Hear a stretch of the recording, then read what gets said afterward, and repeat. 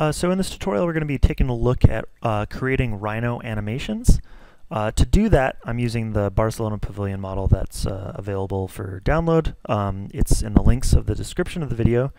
Uh, and I've also added two things. Uh, one, a line just here, and another line inside of the space here. And these are going to be what are essentially rails for my camera. Other software can use uh, kind of keyframing, so I could set my roof position at frame 1 here and frame 30 there, and between 1 and 30 it would move. Uh, Rhino can't do that. You can do that with Bongo. You can do that kind of with Grasshopper, but it's a little, um, little less sophisticated than some other software. But what Rhino can do um, is available under the, if I right click and go show toolbar, the animation setup. There's four basic animation types. One is a uh, sun study. So if we click the sun study, I could set up uh, a longitude and a latitude and say like, you know, okay, we're somewhere around Madrid. It's not Barcelona, but we'll say it's close enough. Um, you can change the uh, north angle here. Um, let's say I modeled my model wrong and I actually put north the other way so it can move the angle there. I pick a day that I want to investigate, a start time and an end time, and how many minutes between each frame. So right now this is a 12-hour time frame, a, uh, a, rendering every 30 minutes, so that would give me 24 images. It's saying that there'll be a JPEG. Um, I'm doing a full render, and I'm rendering this viewport, viewport number 3. And then it labels each one animation 1, animation 2, animation 3. So that's one type. The other type here on the far side is a 360 degree turntable. So if I click this, I can say, well, you know, 250 frames, I'm going to go clockwise around the whole thing. Um, if I get my other toolbar, which is Animation Preview, open, it'll show me whatever animation I just set up. So if I hit play, you can see there it rotates 360 degrees around my model. Um, I can set it up again, and now this is centered on the view I already have. So there you go. Uh, that would be our animation. The preview is always going to be done in wireframe. These other, we're doing an autosave real quick, these other two in the middle here are path-based animations, like fly-through animations. So if I say I'm going to map my camera to this curve there, I can say over 250 frames, move my camera from here to there. And say OK, and I can preview this one, and I'm just moving straight down the space. A more, you know, and, th and that's kind of a classical way of doing that. I'm going to hide my roof real quick. This other option is doing both the camera here and the camera target there. 250 frames again. I'll show my roof back and I'll preview this. Here I'm rotating essentially the camera so that I'm moving through the space while looking from this point to that point. The problem with these Rhino animations is that you can't um, kind of pile them together. I can't do a path animation and a solar animation at the same time.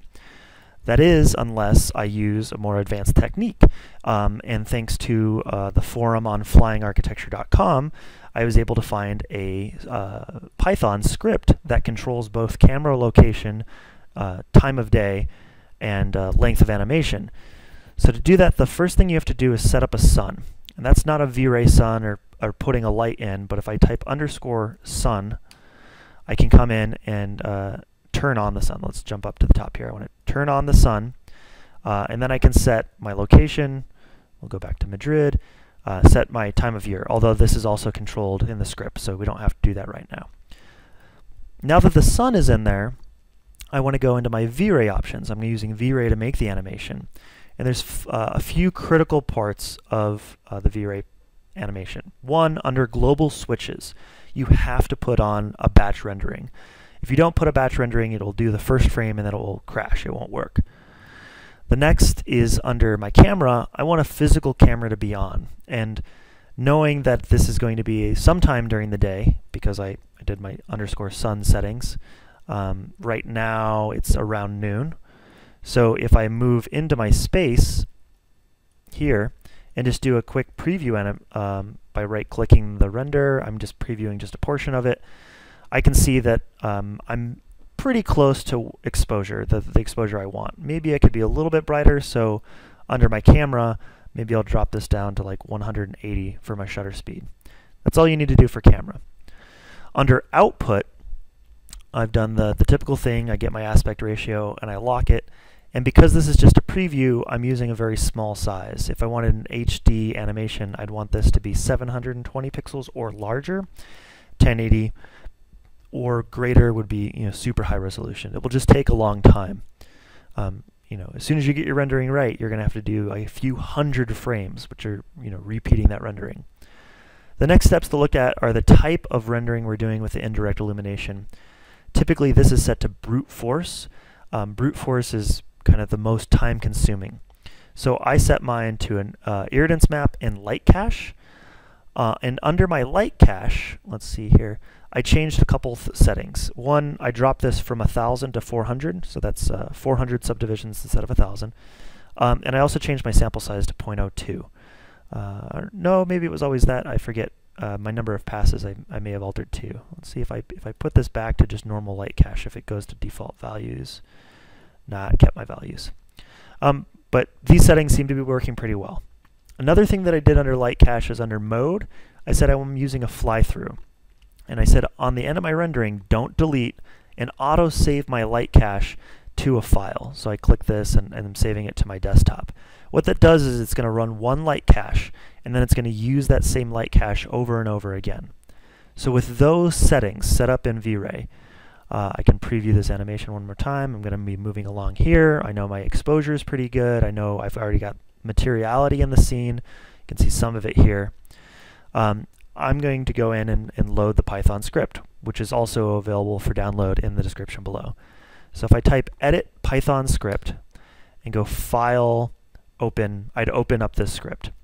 Um, if you're unfamiliar with Python or if you're unfamiliar with scripting, it's actually a, a fairly straightforward script, um, but you don't have to really know exactly why this is working to know that it's going to work. And all of this red text, these are prompts. So if I go to File, Run, it takes a second and it says, well, how many frames do you want? I'll say 200, but the default there is fine. What month? Um, September the ninth month would be fine. 23rd day, great. I'm going to say that give me an animation from 12 noon to 6 p.m., which is 18. Uh, I, I skipped that.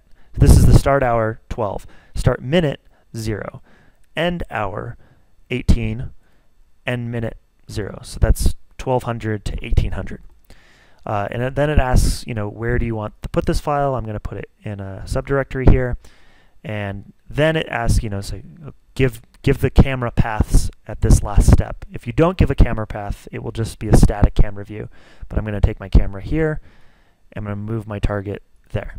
And it's already off to the races. Uh, it's going to do one light cache here, um, and if I set this up right, it should only then uh, do irradiance maps and rendered images. Let's see if it does a light cache pass right now. It, it may, I'm not certain. Oh, it's still doing a light cache.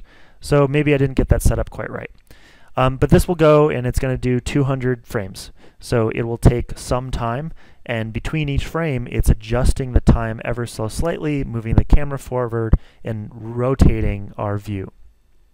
Uh, these are being saved out as JPEGs. I'm going to hit escape and eventually it should pop the script up here and it says, hey, you had an error, you pressed the escape key, which quit.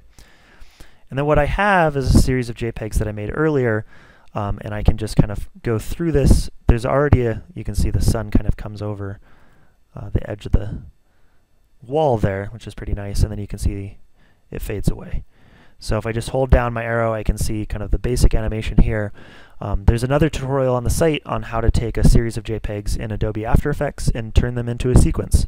Um, most things play at 30 frames per second, so you have to think that if you want a minute long animation, you're going to need 30 times 60, which is 1800 frames, which will take some time, especially if each frame takes about a minute to render. You're looking at some hours of rendering. Um, but playing with those V-Ray settings will help reduce that time. So I hope that helps. If you have any questions or comments, go ahead and leave them below, or you can always email me at c.k.mcadams at gmail.com. All the best of luck.